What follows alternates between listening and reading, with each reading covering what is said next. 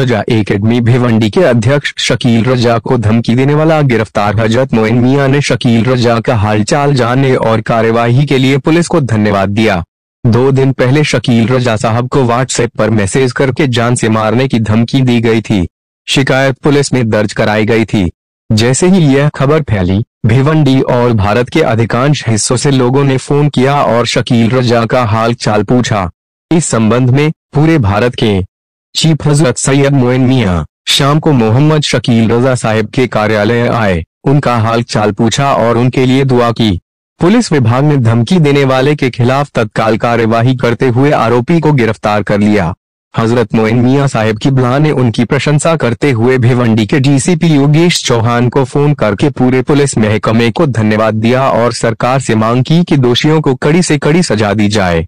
भिवंडी, से ताज अंसारी की रिपोर्ट। आज भिवंडी आने का दो मकसद था। एक तो बुखारी मॉल जो तामीर हुआ है, उसका अफ्ताह था।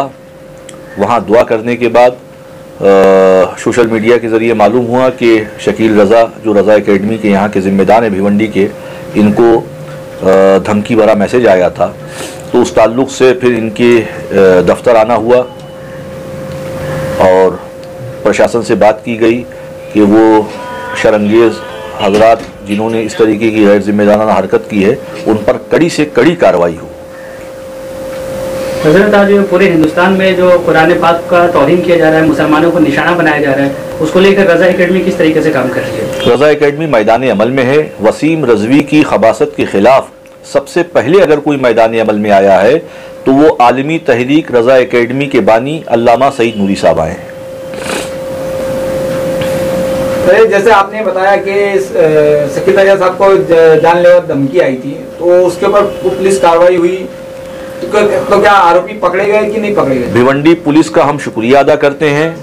खुद बराह रास्त हमने डीसीपी साहब से बात की और भिवंडी पुलिस ने जिस तरीके से शरपसंदों पर कार्रवाई की है और वो कार्रवाई जारी है, यकीनन इन चंद दिनों में इस तरीके की खुराफात जिसने की है वो पुलिस के शिकंजे में होगा। पहले तो जो है बहुत बहुत जो है आ, हमारे जो है शेख हमारे भी बड़े सैयद मुहिम मियाँ साहब किबला यहाँ हमारी ऑफ़िस तक आए।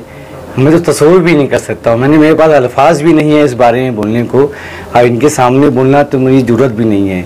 मगर हज़रत का हुक्म है तो जो है मैं आ, बोल रहा हूँ। पहले तो हज़रत का शुक्रिया कि यहाँ पर आए। हम लोगों को इन्होंने जान दी। ऐसा लगा कि हमारा कोई है। सब कुछ बड़ा बड़ा दिल जो है, खुश हुआ सबका, हम लोग भिवंडी रजा अकेडमी का। और उसके बाद जो है, पुलिस ने जो है, उस आरोपी को दो घंटे में ही अरेस्ट कर लिया था। रोशन बाग इलाके का आरोपी है। और हज़रत ने अभी जो है डीसीपी साहब से बात भी की और हमारी भी बात करवाई। तो हमने भी तकरीर, उनका शुक्रिया अदा किया। यानी भिंडी डीसीपी एसीपी साहब और सीनियर साहब और ख़ास तौर पे जो एपीआई है, अपना आईओ शरद पवार यानी इन लोगों ने इतने शानदार तरीके से इतना दिल पे लेके काम किया कि वाकई इनका शुक्रिया अदा करने का बनता है। तो हम सब रजा अकेडमी वाले या जितनी यहाँ मौजूद है हम सब उनका तह दिल से शुक्रिया अदा करते हैं पूरे डिपार्टमेंट का और ख़ास तौर पर हैत का।